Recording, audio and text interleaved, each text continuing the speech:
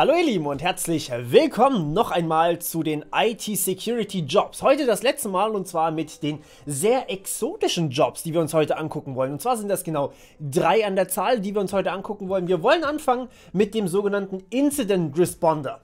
So, wir hatten schon mal Incident Response. Was ist denn eigentlich Incident Response? Nun, Incident steht für Vorfall. Das heißt, ähm, wenn zum Beispiel ein Cyber Security Breach passiert, ja, das kommt vor, das kommt in großen Firmen sogar relativ häufig vor. Und der Responder, naja, der macht natürlich das, was er machen soll, er antwortet darauf. Und das heißt nicht, er hackt jetzt irgendwie die Angreifer zurück, sondern er schaut bei sich im Unternehmen, was kann ich eigentlich tun, was ist schiefgegangen, so was, was ist überhaupt abhanden gekommen. Ihr habt vielleicht schon öf öfters mal gesehen, ähm, bei Twitter zum Beispiel, bei dem großen Hack, der da passiert ist, hey, ähm, es wurden zum Beispiel nur die Nutzernamen geklaut, so die sind sowieso öffentlich, also nichts ist passiert. Teilweise bekommt ihr aber auch mit, hey, da wurden Passwörter geklaut, da wurden E-Mail-Adressen geklaut, solche Dinge.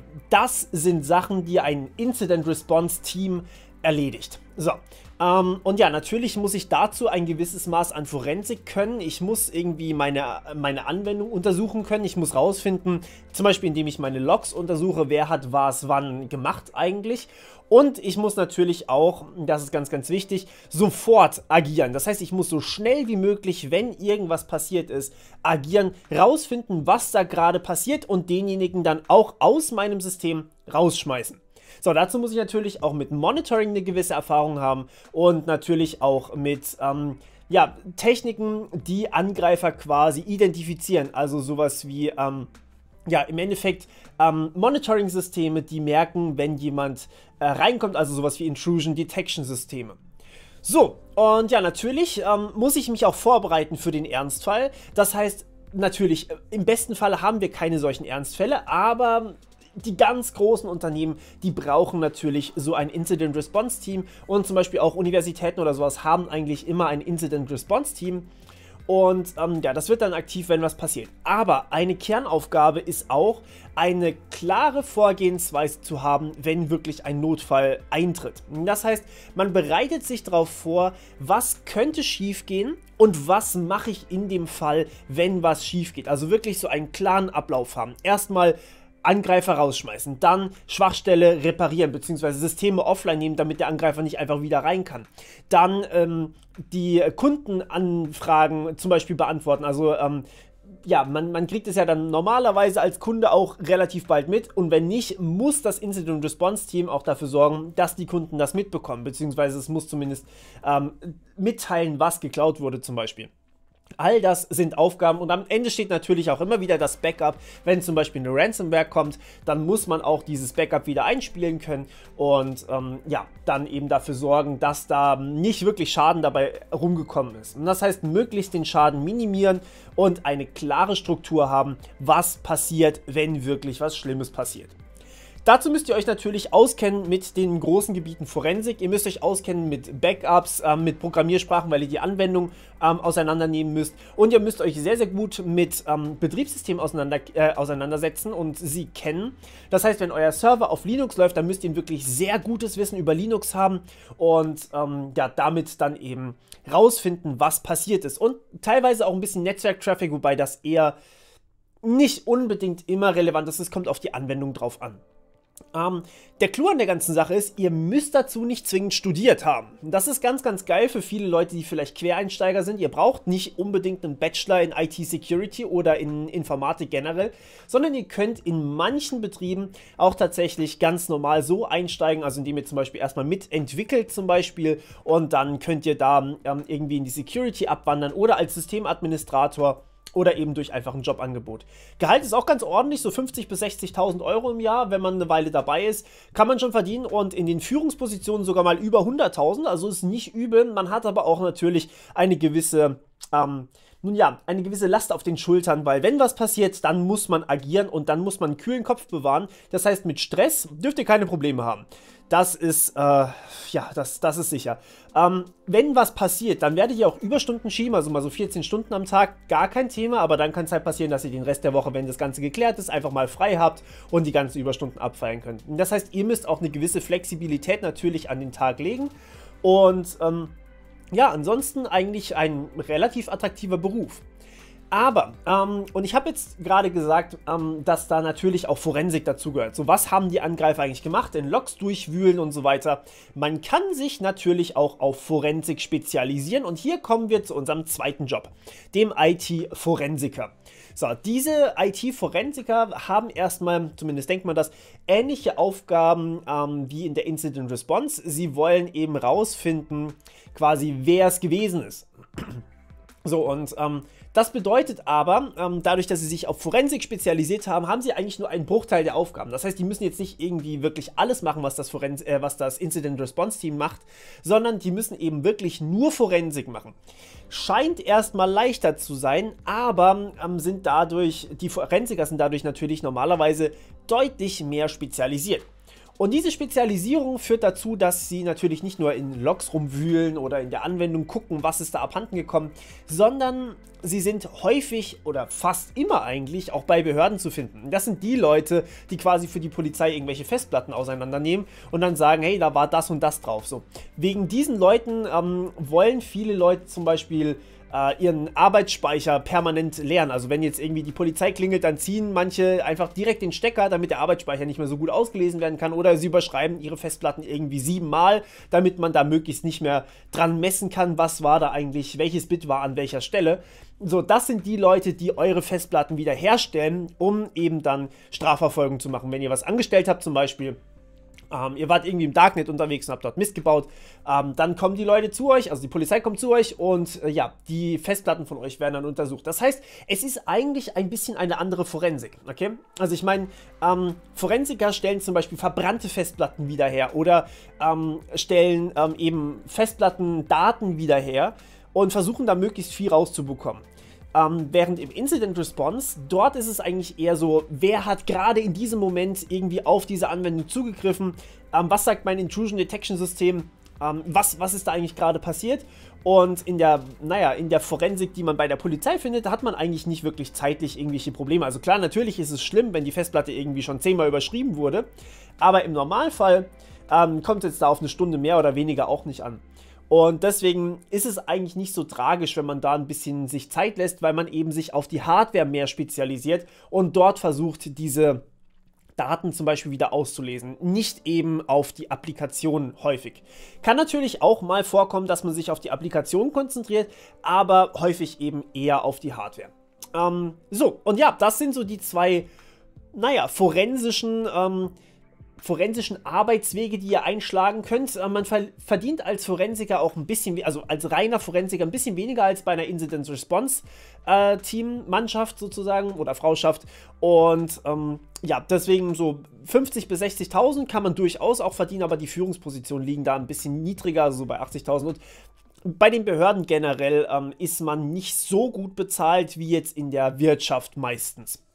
Aber ja, das ist immer so eine Geschmackssache. Mag man das oder mag man es vielleicht eher nicht? Möchte man das tun oder möchte man es eher nicht tun? Kommen wir zu unserem dritten großen Beruf und äh, der hat relativ wenig mit allen bisherigen Berufen zu tun, denn ja, er ist ein ganz besonderer Beruf und zwar der Kryptologe bzw. die Kryptologin. Ja? Ähm, das ist ein Spezialist, der sich auf Kryptographie spezialisiert hat und den werdet ihr relativ selten ähm, in der Wirtschaft sehen. Weil in der Wirtschaft oder in der Industrie nimmt man normalerweise einfach das, was diese Kryptologen gemacht haben und packt das dann quasi in seine Applikation rein. So, ihr werdet relativ selten irgendwen finden, der tatsächlich irgendwie selbst implementierte Kryptoverfahren verwendet. Das ist auch aus gutem Grund so, weil Kryptoverfahren, wenn die implementiert werden, kann man sehr, sehr viel falsch machen. Und dafür gibt es eben die Kryptologen. Die kennen sich mit Kryptographie aus. Und die wissen, was RSA 4096 ist. Sie wissen aber nicht nur, was es ist, sondern sie können euch auch beweisen, warum das Ding sicher ist, unter gewissen Annahmen. Und wenn diese Annahmen gebrochen werden, daran forscht man natürlich auch die ganze Zeit, dann wissen die ganz genau, aha, dann muss ich also auf ein anderes Kryptoverfahren umsteigen. Und wir haben das schon wirklich sehr exzessiv in meiner Kryptographie-Playlist gemacht. Da könnt ihr gerne mal reingucken. Die ist wirklich ähm, sagen wir mal, umfangreich. Ja? Die gibt euch ein gutes Bild, was eigentlich ein Kryptologe so macht.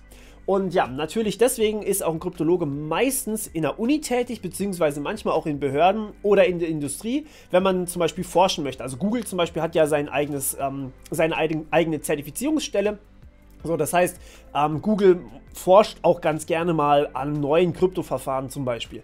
Und ähm, die haben da auch was Cooles entwickelt. Kleiner Fun-Fact hier am Rande: Die haben zum Beispiel mit AI, also mit künstlicher Intelligenz, ein Kryptoverfahren entwickelt, was leider sehr schwer zu analysieren ist, ob das jetzt wirklich sicher ist oder nicht. Aber niemand außer den beiden AIs kann jetzt miteinander kommunizieren. Das ist ein geiles Ding, aber ja, man kann es halt leider nicht wirklich beweisen. Deswegen für Kryptologen eher uninteressant, weil man halt diese AIs braucht und man sich auf die verlassen muss. So, aber es ist cool und interessant zu sehen und Forschung, wie gesagt. Und ja, wir wollen natürlich immer besser werden. Wir wollen eigentlich alles erforschen und deswegen brauchen wir sowas auch definitiv. Sie wollen also mathematisch irgendwelche Verfahren berechnen und brechen. Sie wollen neue Angriffe entwickeln.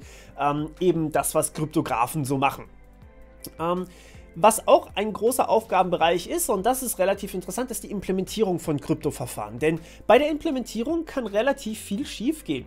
Das glaubt man jetzt erstmal nicht. Ich meine, im Endeffekt ist es ja einfach nur eine mathematische Berechnung, aber es kommt da wirklich auf einzelne Return-Statements teilweise an.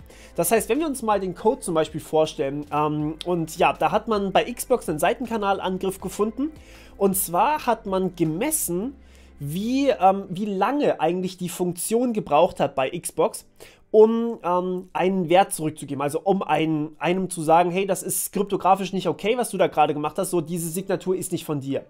Und man hat die Zeit gemessen. Das heißt, der erste Buchstabe wurde quasi, so könnt ihr euch das vorstellen, überprüft. Der zweite Buchstabe wurde überprüft und so weiter. Und jedes Mal, wenn es schief gegangen ist, hat man ein Return zurückgegeben. Also Return False sozusagen. Und ganz am Ende hat man Return True zurückgegeben. So, und dann konnte man jetzt anhand der Buchstaben messen, wie weit man gekommen ist. Und dadurch konnte man quasi jeden Buchstaben einzeln messen. Und ja, anhand der Antwortzeit konnte man ausrechnen, wie weit oder wie viele Buchstaben ich eigentlich richtig habe. Und dadurch konnte man die, ähm, also quasi den Random-Faktor, ähm, stark reduzieren. Und das ist einfach wahnsinnig faszinierend. Aber sowas ähm, erfordert dann natürlich einen Kryptologen, dass der sich den Code anschaut und sagt, ah, natürlich, ja klar, Seitenkanalangriff hier, äh, man misst einfach die Zeit. So, das dürft ihr so nicht implementieren. Ihr müsst euch das Ganze in Boolean speichern und am Ende den Boolean zurückgeben. So, ist einfacher Fix, aber man muss natürlich erstmal draufkommen und das Verfahren erstmal untersuchen und erstmal verstehen, was da eigentlich passiert ist. Oder überhaupt erstmal den Angriff verstehen. Ja, ähm, das machen Kryptologen und ähm, seit neuestem, also was heißt seit neuestem, seit jetzt auch schon einigen Jahren, ja, Blockchain ist jetzt auch nicht mehr das jüngste, gibt es eben Blockchain-Entwickler. Das heißt wirklich Entwickler und ähm, ja, Kryptografen natürlich dann auch, die hier versuchen, ähm, neue Verfahren zu entwickeln von dezentralen Datenbanken im Endeffekt. Blockchain ist nichts anderes als eine dezentrale Datenbank. Viele benutzen es als Geld, aber das muss natürlich nicht sein. So, ich kann damit machen, was ich möchte und das ist natürlich auch in der Industrie immer wieder gefragt.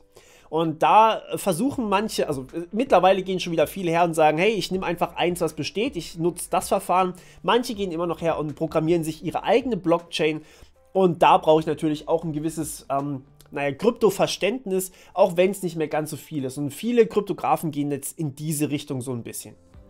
Okay, ähm, ja, ihr habt gesehen, ähm, vieles davon haben wir schon in Tutorial-Reihen abgedeckt. Forensik natürlich noch nicht so sehr. Kryptographie haben wir zuhauf abgedeckt, weil es einfach super faszinierend ist. Ich mache das auch selber ganz gerne, weil es einfach so, boah, ähm, und ja, das ist relativ cool. Schaut euch da gerne mal was an. Und wenn ihr jetzt in diesem Bereich einen Job finden wollt, dann schauen wir uns jetzt noch was an. Denn ja, natürlich muss man erstmal einen Job bekommen, um dann sich weiterhin auf seine Richtung spezialisieren zu können. Und genau das findet ihr bei Get in IT. Get in IT ist eine Webseite, die für euch komplett kostenlos ist und ihr könnt hier euren Job raussuchen. Einfach mal nach IT Security suchen und ihr seht, hier gibt es unfassbar viele Jobs für IT Security. Richtig coole dabei. Ich habe da mal durchgeguckt vor ein paar Tagen auch wieder. Ähm, und ja, natürlich, das Angebot wird ständig erweitert. IT Security Menschen sind sehr gefragt, okay? Und das das Ding ist jetzt, ihr müsst euch nicht irgendwie raussuchen, bei wem ihr euch bewerben wollt oder sonst irgendwas machen, sondern was ihr jetzt machen könnt, ist, ihr könnt einfach euer Profil ausfüllen. Das heißt, hier zum Beispiel eintragen, wie ihr heißt, äh, wie man euch erreichen kann, was für Skills ihr habt, euer Skill-Level jeweils einschätzen und dann natürlich eure Sprachen und so weiter und so fort, was für eine Abschlussarbeit ihr gemacht habt und so weiter und so fort. Und wenn ihr das alles gemacht habt, dann werden sich die Firmen bei euch bewerben. Denn ja, das ist quasi das Konzept. Also ihr bewerbt euch euch nicht, sondern die Firmen bewerben sich bei euch, weil die Firmen wollen ja, dass ihr bei ihnen arbeitet. Und für euch ist das Ganze auch komplett kostenlos. Und ja, ihr könnt es auch gerne einfach mal ausprobieren, wenn ihr Interesse an einem Job habt. Wir haben das jetzt schon ein bisschen hier gemacht, also ein paar Mal jetzt hier diese Promotion gemacht und ja, das Ergebnis ist unglaublich gut. Viele von denen, die hier wirklich ihr Pro Profil angelegt haben, haben hier auch tatsächlich schon ein Jobangebot bekommen. Das freut mich wahnsinnig, deswegen bin ich auch immer wieder glücklich, wenn ich das an euch weitergeben darf, sodass ihr das auch mitbekommt. So, das war's von meiner Seite. Ich wünsche euch viel Spaß. Links sind natürlich alle in der Beschreibung und wir hören uns wieder beim nächsten Mal. Bis dann, ciao.